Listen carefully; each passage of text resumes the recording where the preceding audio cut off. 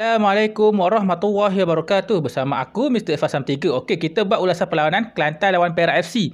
Kelantan kalah 2-1 kepada Perak FC. Okey, dalam perlawanan tadi, penguasaan bola lebih memihak kepada Kelantan. Okey, di first half, pihak, pihak, pula, sorry. Pasukan Perak bermain dengan agresif. Diorang press Kelantan.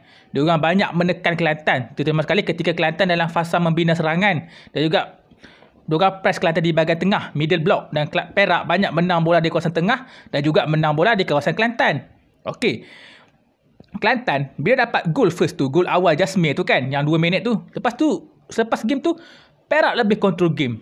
Perak press Kelantan, tekan Kelantan dia banyak menang bola, dia banyak mencipta ancaman di final third area Kelantan sampailah Perak mendapatkan gol penyamaan 1Z Haikal dan kemudian gol sendiri Khairul Helmi ke yang memastikan kemenangan Perak. Okey, lepas tu kalau kau perasan, di penghujung separuh masa pertama, Kelantan mula nak masuk dalam perlawanan, mula get into the game, mula memberi saingan. Akan tetapi Kelantan gagal mendapatkan gol penyamaan di first half. Di second half, Kelantan meningkatkan serangan, meningkatkan asakan dan beberapa pertukaran dibuat dan Kelantan lebih banyak overload player di kawasan Perak. Akan tetapi, Kelantan dihalang dengan ketumpulan di jentera serangan. Gagal menghasilkan gol penyamaan. Okey, Perak ni, dia orang di second half bila di first half, dia orang bermain secara pressing play. Banyak menekan Kelantan, banyak menyerang, menang bola. Jadi, uh, pemain Perak dah banyak menggunakan tenaga di first half. Jadi, untuk second half, pemain Perak ni mengendurkan asakan.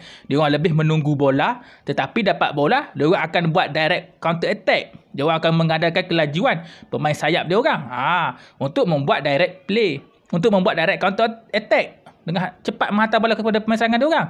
Akan tetapi, dia orang pun macam Kelantan juga. Gagal lagi untuk menambah gol ketiga. Ha, wah. Okay. Kelantan ni pula, uh, macam aku cakap, sumber serangan Kelantan ni, dia berpunca daripada bahagian tepi, kiri dan kanan. Dan aku tengok game tadi, pasukan Perak, taktikal orang bijak. Dia orang tahu, uh, Kelantan ni akan menggunakan pemain sayap untuk memulakan serangan, untuk menggerakkan serangan tepi. Dan Perak dia akan letakkan tiga orang pemain dia orang cuba menutup kawasan tepi. Cuba close space di bahagian wide area untuk menyukarkan pergerakan Kelantan menyerang daripada bahagian sayap.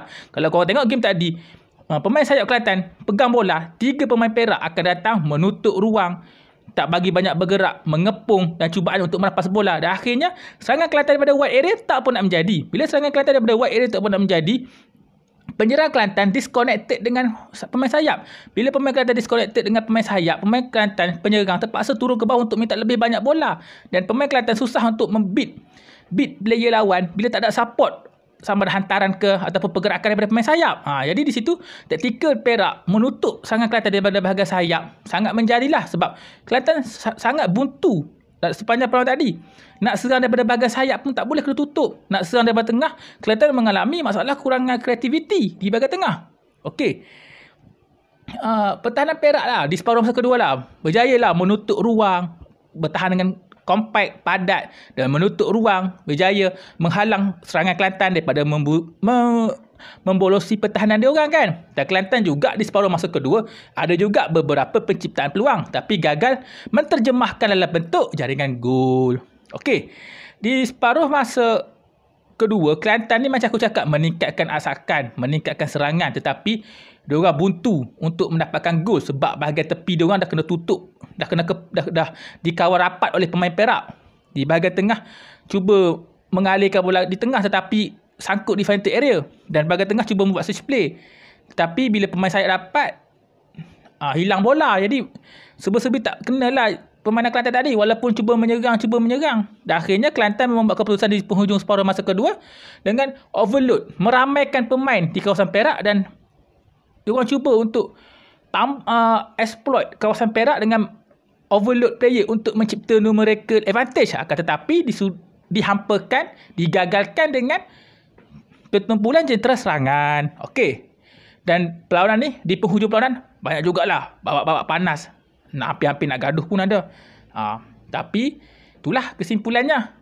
Kelantan tewas 1-2 kepada Perak FC. Ha, kekalahan kedua Kelantan untuk musim ini dalam Liga Perdana. Apapun Kelantan masih lagi mendahului Liga Perdana. Ha, apapun Uh, Kelantan perlu lagi lah memperbaiki lagi lah aspek permainan, aspek taktikal lah sebab nampak daripada corak permainan Perak tadi seolah-olah Perak dah boleh, pasukan lain mungkin dah boleh baca dah pergerakan Kelantan yang lebih banyak menyerang daripada bagian tepi. Jadi, untuk next match, uh, perubahan perlu dibuat lah. Okay, setakat saya lah konten aku. Kalau kau suka, kau boleh like, share, komen dan subscribe channel YouTube aku. Jumpa lagi. Assalamualaikum warahmatullahi wabarakatuh. Bye. Semangat, semangat, semangat. Gomo kata gomo. Gomo kata gomo. Gomo kata gomo.